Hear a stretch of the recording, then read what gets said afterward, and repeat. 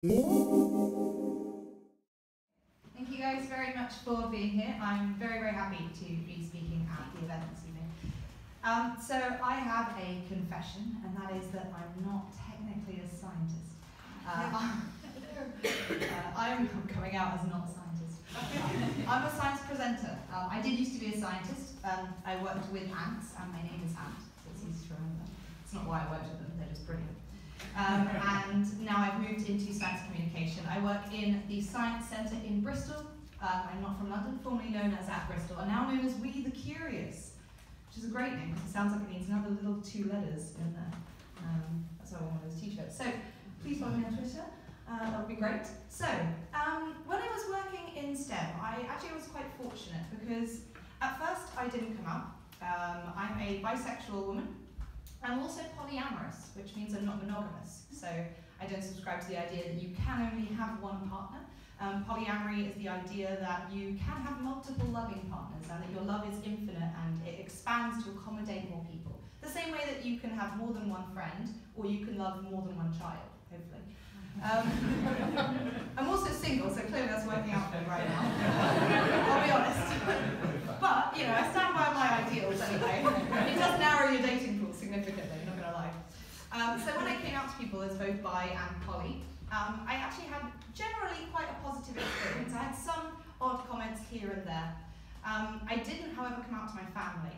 Uh, and I'm actually giving a TED talk on LGBT in biology in November in Bristol. And because of that talk, I've had to come out to my family because they're going to watch the talk. Um, yeah, so I thought it's better they hear it from me. Uh, I did come out to them and they're not coming to my TED talk because they didn't respond well to it. Um, they said a lot of negative things about it, that it was selfish, that it was immoral, uh, and that it was unnatural.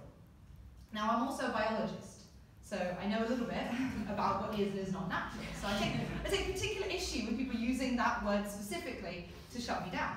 And it's something you do see quite a lot. There's a lot of LGBT prejudice, not just in my family or in families in general, but also systematic prejudice that's out there.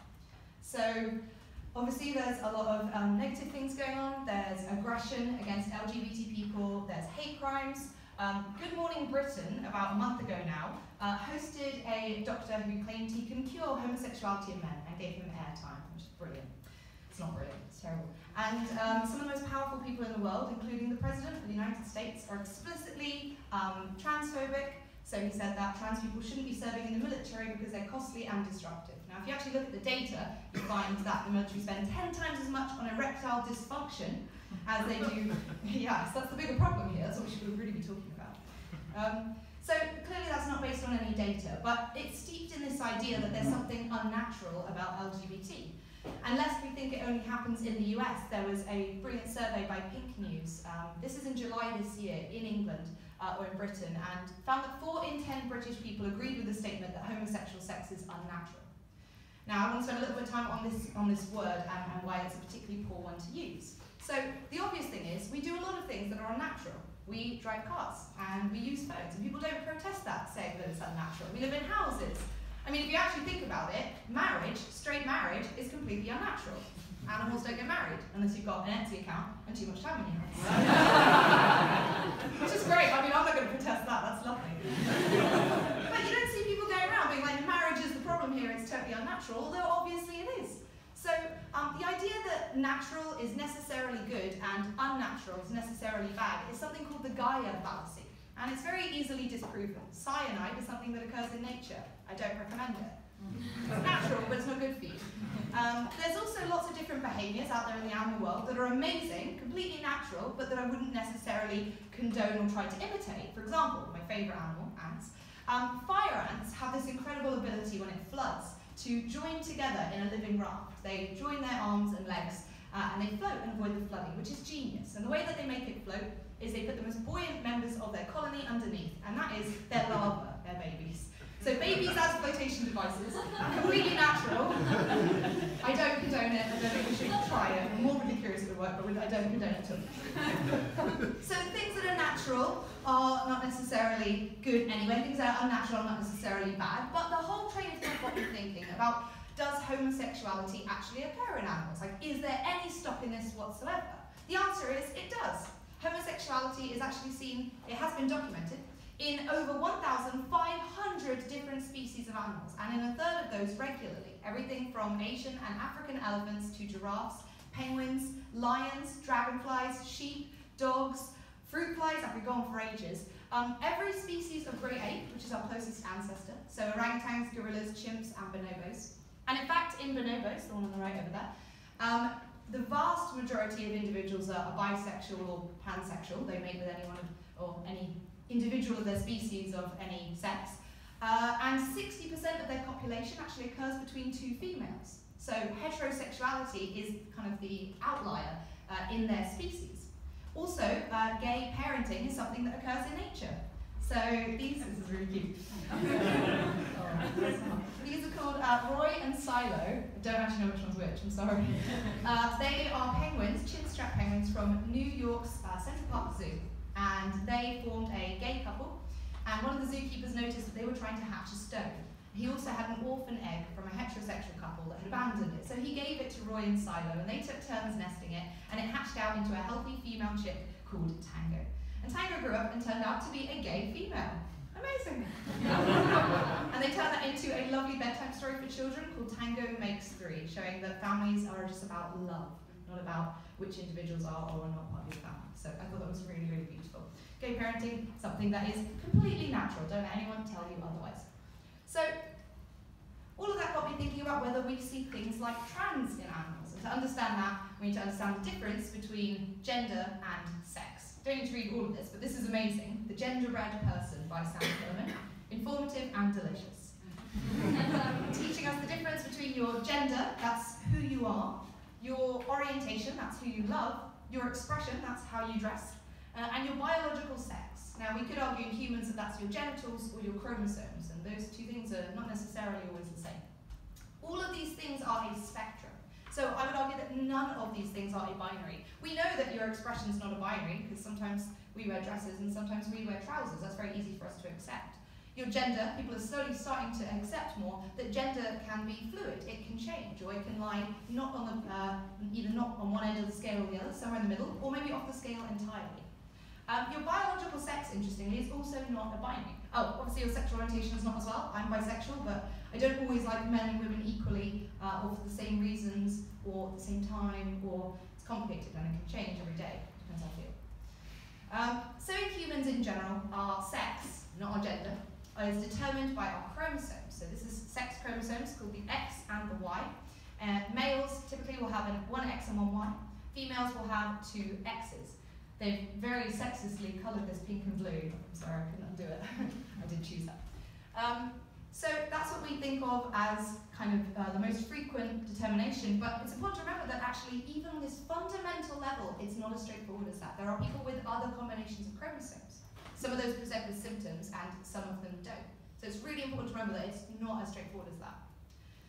We think of this as being the norm, so maybe it's the most common sex determination in humans. Is it the case for all other animals, or is it just in humans? So we're going to think about the birds and the bees, starting with birds. So, birds do have sex chromosomes, a bit like us, um, but in males they have two the same, and in females they have two different. So already we're a step away from what we think of as the norm. In bees, it is radically different. Bees have three types. There are workers, who are female at the top, queens, who are the females in the middle, and the drones, who are the big ones with the creepy eyes, at the bottom.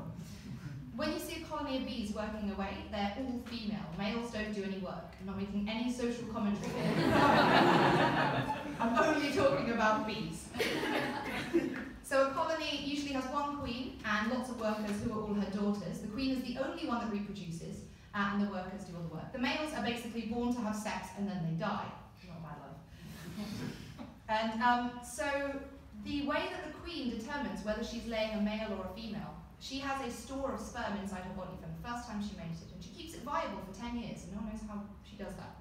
And if she uh, fertilizes the egg, it turns into a female. If she doesn't fertilize it, it turns into a male. So males have half as many chromosomes in total as females. They don't have two sets, only one. Which also means male bees have no father. Which is a bit of a weird fact to try and comprehend. So sex determination, not always as straightforward as we may like to think it is. Now, when you actually start to dig down into the difference between male and female and whether they're always two separate things, it gets even more blurry. It's really not a black and white thing. These are banana slugs, one of my favourite animals. They are simultaneous hermaphrodites, which means that they're male and female at the same time. So every banana slug has male and female parts. This is a true story. Their Latin name is Dolichophallus, which means enormous penis. That's the most famous thing about them. Very substantial. when they great. When they mate, they form this yellow yin-yang shape, um, and their penis actually comes out of their forehead like a phallic unicorn. Completely natural. So when they mate, they insert their penis into the female reproductive organ, but it's so large that sometimes it gets stuck. And when that happens, uh, they have to work together to chew it off. There's some incredible academic papers about this, but it wasn't quite the Other slug species sometimes mate with something called a love dart. This is when they fire arrows at each other. Uh, that's something that, so that just pierces into the body. It's something called traumatic insemination, aptly named. It's not fun. That's good for the one that's done the stabbing, so stabbing, sorry, the inseminating. It's not good for the one who's inseminated because they have to carry the young and invest. So they both try and inseminate the other one without being inseminated themselves. in flatworms, they take this to a real extreme and they engage in something called penis fencing, which is where they try and stab the other one and avoid being stabbed themselves. That's a picture of penis fencing. That's something I bet you didn't think you would see tonight. We've all learned something. Clownfish are also hermaphrodites, but not at the same time. This is something called sequential hermaphrodites, so they change sex over time. So in a school of clownfish, there's typically only one female. There's a very strict hierarchy. The biggest and toughest fish is the female. If she dies or disappears, then the next biggest fish, male, turns into a female to take her place. Which means, if you think back to Finding Nemo, it would have been a drastically different film. but Disney are not biologically disappointed. So we've seen animals can change sex and that there can be two sexes at the same time, but are there ever animals which don't have two sexes? In fact, the answer is yes. It starts getting really strange. This is a grassland desert whiptail lizard, a species which only has females. There are no males. They reproduce with parthenogenesis, which means they lay an egg that isn't fertilized, and that turns into their daughter. But they don't lay eggs all the time. They actually only reproduce when they're mounted by another female. So female mounts a female, that stimulates ovaries, stimulates ovulation, and then she lays an egg and turns into another female. It's really, really incredible. So there are species where there's only one sex, which is kind of bizarre. There are actually species where there's more than two sexes. This really blew my mind when I found out about it. So this animal at the top is a single-celled organism called Tetrahymena thermophila. It has seven different mating types, which for all intents and purposes are the same as sexes. It can mate with any other type except its own. So essentially it has seven sexes, if you could call it that. Uh, this fungus on the bottom, Schizophyllum commune, that has 28,000 mating types, which is bizarre. Imagine being a parent of a schizophrenic commune and not knowing which sex it was going to be of 28,000. the balloon market would go wild. Even deciding what is a male or a female gets really blurry when you start looking at animals. We tend to think, okay, the male is the one with the penis. Like, usually, kind of, but not always. If you look at spotted hyenas, you try and determine their sex from their genitals, you have a really hard time because females have a pseudopenis. It's an enlarged clitoris. It's bigger than the male genitals. They also have sex with it and give birth through it, which is quite an achievement. Um, and they live in large groups and packs. And um, uh, contrary to popular belief, uh, spotted hyenas actually hunt as well as scavenge, they're not just scavengers. So they leave the pack for quite a long time to go hunting, they come back, and when they do that, they have to prove that they are part of the group. So to do that, they lift up their leg and they sniff each other's glands, which are behind their back leg. And to show that they're submissive and to, to show that they are willing to kind of um, present themselves, they actually erect either their penis if they're male or their pseudopenis if they're female voluntarily and put it into the mouth of the other individual because that's a sign of submission. That's a sign of I'm giving you my most vital, vulnerable organ and putting it in a place where you could harm it. That is deeply submissive, which is an interesting inversion of what we typically think. It's like a little white this